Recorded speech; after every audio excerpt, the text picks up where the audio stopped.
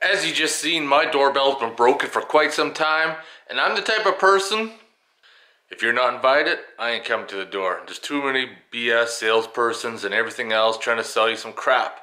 But I do need to replace my doorbell. So I picked this bad boy off of Amazon for under $20.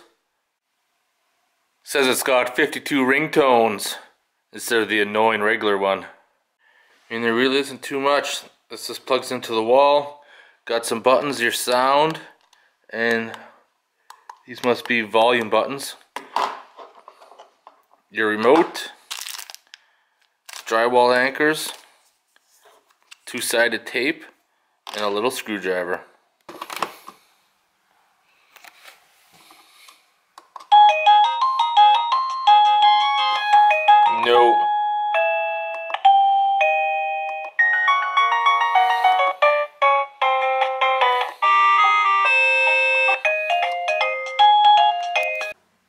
Well, let's see what happens. I think I got one.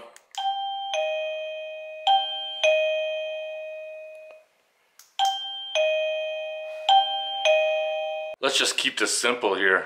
I do need some electrical tape to tie up the wires of the old door buzzer. That's what kind of battery it takes if you're wondering.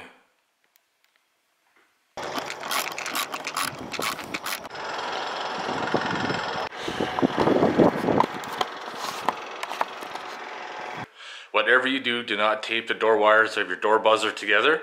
Otherwise your door buzzer won't shut off. You'll find that out in a real hurry.